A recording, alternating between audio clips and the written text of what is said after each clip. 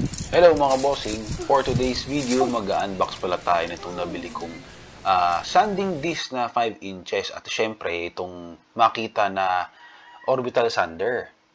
So ito, binubuksan na nga natin tong bagong bilhin natin sa Shopee. Yan, i-check natin kung okay.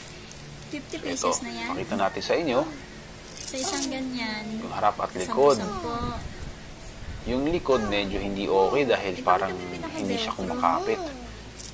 Sana dinala mo yung machine ano, para alam nila kung para So saan. yun nga, yung nakakapa ako Saan dito. Parang hindi masyadong makapal yung velcro niya. So i-check pa rin natin yan. Siyempre, iba pa rin yung Tapos actual. yung pinaka-sam, ano niya. Kasi ang reason naman dito eh, for as long na magamit natin ng tama. Try natin. Sa actual, ito nga pala yung bagong makita namin. Siyang random orbital sander. So, pasok natin yan. Bago yan, wala pang gas-gas yan, wala pang, wala pa lahat, okay? Straight from the box, makikita natin mamaya. Okay, so unang try natin dito. Kitang-kita naman na hindi masyado kumakapit. Pero syempre, kamay pa lang yan. So baka naman kumapit yan. Hindi ko lang sigurado. Tingnan natin. Open natin. Paikutin natin. Medyo yun nga, oh. Hindi na didikit.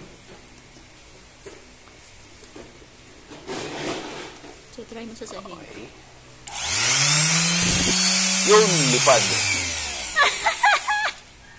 Unang try natin, ito nga pala, correct me if I'm wrong. Comment nyo down below kung, syempre, kung mali yung ginagawa ko or what, di ba?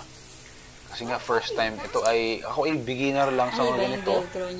At nire-review ko lang, honest review lang itong pinapakita ko sa inyo. Hindi. Siyempre, hindi ako, gusto- hindi ko gusto manira dahil ng, kasi seller yan, negosyo niya Bakit ako dikit sa kahoy? Okay, second try, ayaw pa din. Yeah. So yun nga, kasi ang kino-compare namin dito, yung mismong kasama ng makita. Ito, dikit ko ah. sa package. Yun nga, oh, hindi ko pa sa totally nadidikit, pero yung kapilanggot na perasong yun ay makapit na makapit. So siguro dahil dyan ko siya ikino-compare, kaya ganun. Binili ko nga pala ito, 5 pesos lang naman. Kaya okay lang din naman. So, tulit na rin naman siya kung sakaling magamit namin ito. Ayan. So, kahit ilang segundo, minuto ang maikot dito ay gumagana at makapit na makapit. Mahirap tanggalin. Ano? Dikit na eh. Sige, last try. Huling testing natin, bumili nga pala ako dito 50 peraso. Kagaya na nga sabi ng asawa ko. Yan, dinikit ko talaga, dalawang kamay na yung ginamit ko. Dinignan ko pa, pero wala pa din talaga. So, okay, i-actual natin dun sa mismong kahoy. So, baka nga ayaw sa ganun, testing natin. Ito nga pala yung mismong box na makita na bago yan. So, ilalink down below kung gusto ninyo, o pwede rin naman pumili. Siyempre, bili tayo sa legit na seller lang. Yan. So, you know, makapit na makapit yung kasama nung makita at sigurado ako matibay din yun. So, ito try natin dito, yung nabili ko sa Shopee. So, ililink ko rin dito down below yung Shopee link nung nabilhan ko. Yan, pasok lang natin sa butas. Then, try natin to. Yan.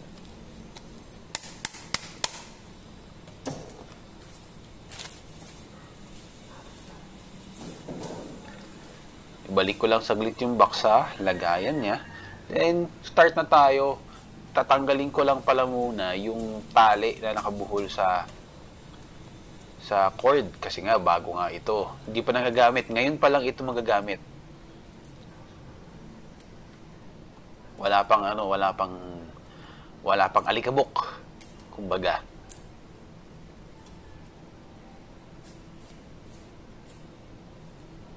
Yan, saksak ko lang.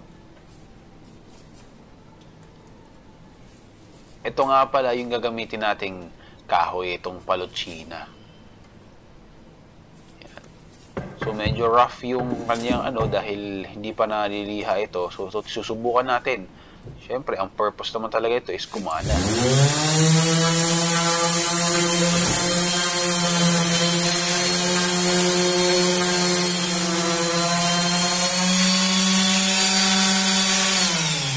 So yun mga boss, ganito pa lang pala.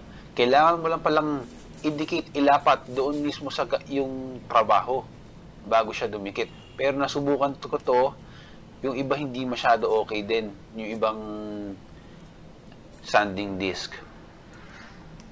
Pero po pwede na, kung 4 5 pesos, so pwede na siya. So yun mga boss, dito na magkatapos ang ating video. Sa, kung nagustuhan yung video nito, please subscribe and like, syempre. Comment nyo rin below kung meron kayong comment.